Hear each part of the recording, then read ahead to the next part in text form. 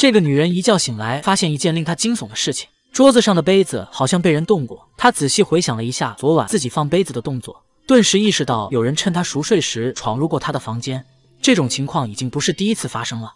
自从她与丈夫分居，开始一个人生活后，总感觉这个屋子好像还住着其他人。但不管她后来如何检查房间，甚至把门锁都换了，这种感觉仍然挥之不去。更离奇的是，第二天的中午，女人被破门而入的母亲发现死在了家里。为了弄清楚死者的死因，法医精灵检查了女人的尸体。死者叫张曼曼，身体表面并无外伤痕迹，毒检测试也没有异常。出来法医室，精灵把尸检结果告诉了死者的母亲周大妈。病理报告显示是突发性脑溢血导致的死亡，而并非他杀。但周大妈坚持指控是女儿的丈夫杀死了她。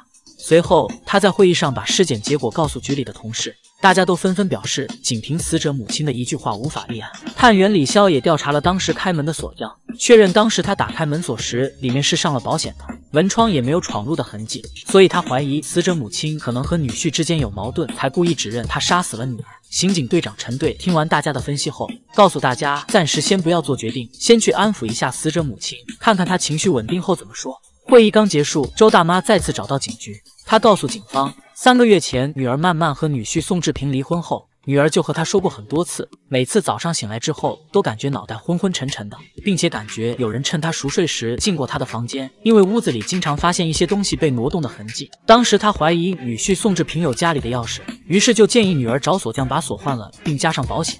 果然，几天后，女儿告诉她再也没有出现之前那些怪异的事情。可后来过了一段时间，女儿说之前的怪异事情又开始频频出现。精灵听完后，询问二人为何分居。周大妈告诉他们，宋志平是市里研究所的物理工程师，还经常研究一些稀奇古怪的虫子。听到这里，精灵看了一眼旁边的景天，因为他刚好是省昆虫研究所的研究生。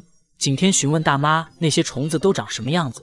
大妈有点厌恶地说，都是一些拇指大、黑乎乎的、没见过的虫子。接着又告诉他们，宋志平这个人报复心和占有欲都特别强。有一天，慢慢下班回家，顺路乘坐了单位领导的车，刚好被宋志平看见，他就开始怀疑慢慢在外边有了其他人。时间久了，二人天天吵架，后来就分居了。周大妈离开后，金玲听了虫子的事情，打算再次对尸体进行第二次尸检。景天也决定去调查一下这个物理工程师平时研究的方向。回到法医室，精灵检查尸体后有了新的发现：死者额头的发际线的皮肤颜色与周围皮肤的颜色有细微的不同。于是他立刻把这条线索分享给了大家。陈队看着这个浅浅的痕迹，疑惑道：“这块类似淤血的皮肤为何之前没有显现出来呢？”精灵解释道：“他通过检查了皮下组织，发现这个痕迹是皮表下方血管破裂由内向外形成的。更奇怪的是，它居然是一个特别规则的圆形。”探员李潇听完不仅说道：“如果真的是他杀。”那么凶手是如何在不伤害皮肤的情况下使血管破裂呢？这时景天突然想到，在路上碰到的修路工人，当时振动器不断击打路面的声音，就令自己有些头疼。所以他猜测宋志平会不会发明了某种类似脉冲仪的物理仪器，或者是利用电磁波等他的专业知识，令张曼曼颅内出血死亡的。但小杰不太赞成他的说法，因为张曼曼家里的门窗门锁都换了。周大妈称，当时找锁匠开门时还上着保险栓。如此说来，现场就是一个密室。那么他是如何进去的呢？陈队听完大家的分析后，感觉这个案子很玄乎，所以他建议大家在没有十足的证据指向宋志平之前，尽量先不要打草惊蛇。可紧接着，奇怪的事情又发生了。周大妈在出门时，从家门口的楼梯上摔了下来，大喊着：“这一切都是宋志平设计的。”但旁边的宋志平听完后，竟然也请求民警把他铐起来。原来就在张曼曼出事后，周大妈不但在公共场合指责自己是杀人凶手，而且还跑到他上班的单位，以割腕自杀来威胁自己。所以他请求警察把自己抓进去清静清静。周大妈看见这一幕，不禁开始鼓掌，嘴里不断夸赞他演技真好。来到警局，宋志平称早上在去外地开研讨会的路上，突然接到周大妈的电话，说自己摔倒了，于是就赶忙掉头折了回来。但另一边医院里的周大妈却说，早上出门打算去买菜，看见电梯维修，便准备走楼梯。可刚走没几步，便听到宋志平在楼上叫他，台阶上好像抹了油似的就滑了下去。宋志平还拿自己的手机给他拨打了电话，作为他来到现场的原因。景天回到警局，正准备把二人完全不一致的口供告诉大家，刚好他之前拜托朋友调查宋志平研究方向的报告也送到了警局。可这时，旁边修护路面的工人再次吸引了他的注意力。突然，他好像想到了什么，于是立刻回去准备再次去找宋志平。来到他上班的单位，景天拿出一只黑乎乎的磕头虫，问他认不认识。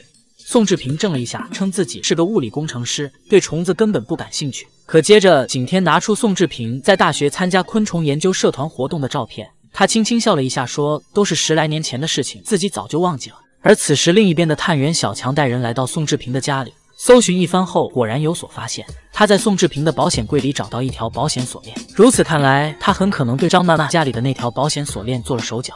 回到警局后，景天拿出半年前宋志平在网上发表的大量仿生学论文。他在其中一篇提到，根据磕头虫匀速而又匀力的击打动作，可以研究出一种不用做手术就可以疏通脑部堵塞血管的仪器。而论文上还有他对这种仪器击打速度的测试，在安全的速度范围内，的确可以实现疏通血管。但如果速度超过某个阈值，就很有可能会导致血管崩裂。由此，景天怀疑张曼曼额头上的痕迹可能就是这样形成的。陈队听后，立刻下令提审宋志平。同时去调查他的实验室，寻找类似的仪器。审讯室里，宋志平坚持说妻子的死和自己没关系。可当调查的同事找到为他开锁的师傅时，他一下变得慌张了起来。据开锁师傅交代，两个月前，宋志平找到他说家里的钥匙丢了。他看了户主的身份信息后，为其打开了房门，并配了一把钥匙给他。宋志平听后，很干脆地承认了配钥匙的事情。但他认为这并不能说明自己和妻子的死有关系。另一边的小强来到宋志平的研究院，在里面找到了他设计的疏通血管仪的图纸和样品。把样品带回警局后，李潇对宋志平的杀人过程做了推理。他检验了在其保险柜发现的保险锁链，这是一种特殊的记忆金属。宋志平利用自己的专业知识制作了和张娜娜家里一模一样的锁链，在常温下看上去一模一样，但一旦用液氨为其降温，锁链就会自动恢复到最初记忆的状态。当温度再次恢复，它又会变成常温下的状态。接着，他调整了张娜娜的安眠药，每一粒都增大了剂量。然后，每到夜晚张娜娜睡着时，他都会悄悄地进入她的屋子，然后为她戴上自己设置的仪器。终于在日复一日的敲打她的额头后，前天夜里张娜娜终于突发脑溢血死亡。面对认证物证，宋志平终于爆发了：“他是个荡妇，魔鬼。”原来有一天，他无意中看到了张娜娜和其他男人的聊天记录，发现他竟然瞒着自己打掉了一个孩子。他质问张娜娜为什么要这样做，她却说自己不喜欢女孩。但他当然不相信这种重男轻女的借口，不管那个孩子到底是谁的，这件事情一直都令他无法接受。我是莽牛，喜欢的给个三连，我们下期再见。